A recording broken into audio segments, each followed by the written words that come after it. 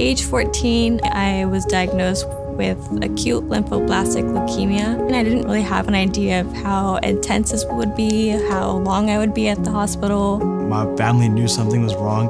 Because even if I was sick in the past, I'd always push through and always hang out with my cousins, but I didn't want to do anything. It's overwhelming for a five year old kid. Treating childhood cancer is hard. We give chemotherapy, radiation, surgeries.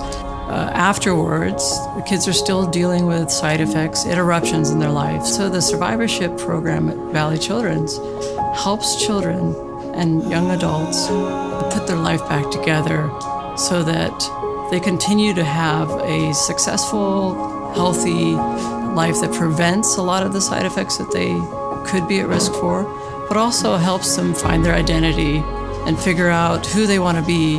You survive this and you think like, okay, well, what's next? There has to be something else. I want to give back. These doctors gave so much to me, and I want to do the same to some kids, give them the same hope that I was given, and let them know that it's going to be okay and make them feel like they're important. I'm going to go to Berkeley. I'm going to major in biology, and I hope to get into med school.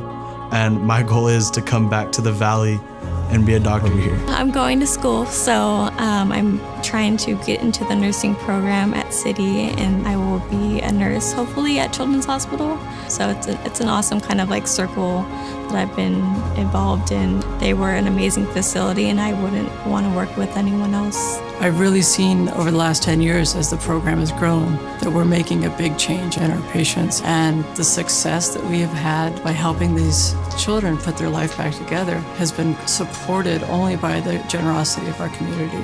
We can't do this alone. It really is a community support to put these kids' lives back together. I will support this program no matter what. Because of you, you will change a child's life not only for an instant, but for the rest of their life. Because of you, I have a better future and I can take on anything.